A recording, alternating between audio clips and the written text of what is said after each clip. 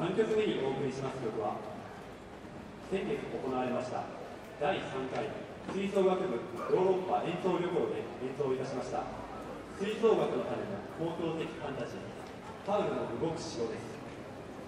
ジブリの名作パウルの動く城にも使用されている楽曲の中よりメドレー形式でお送りします。宮崎駿監督が描かれた美しい情景を思い浮かべながらお聴きください。それではどうぞ。